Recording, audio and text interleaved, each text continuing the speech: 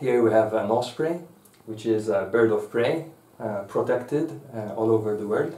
Um, and in Malta right now, it's uh, not it's not a hunting season. Unfortunately, someone from the public called us uh, yesterday, 26th March, to tell us that they found this injured bird.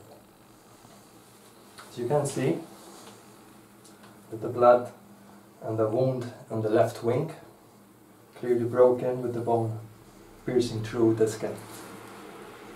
This bird will be taken to the vet straight away, and uh, the vet will diagnose the reason of the injury, which is clearly a shotgun injury, but will have her clearance, and then it will be up to her to decide the fate of this bird.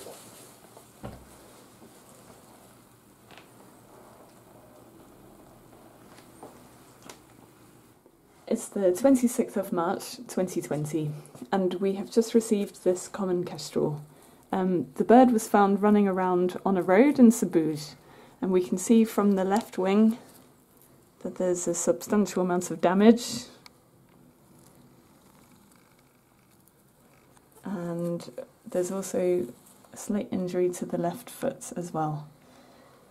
So this bird will now go see the government vets where the vets will confirm how the bird got these injuries and then they will tell us how to next best treat this bird.